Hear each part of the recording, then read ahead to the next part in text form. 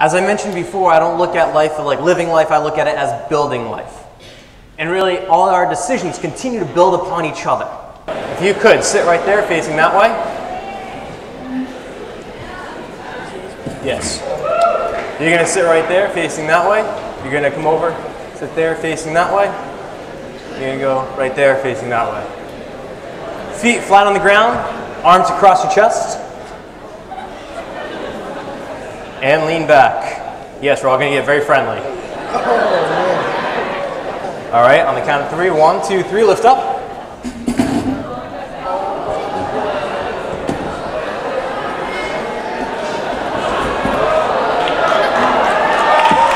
Give him a nice round. Smile.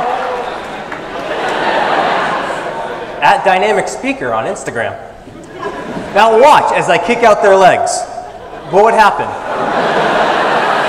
Everybody would fall, right? Sit up. Give them a nice round of applause.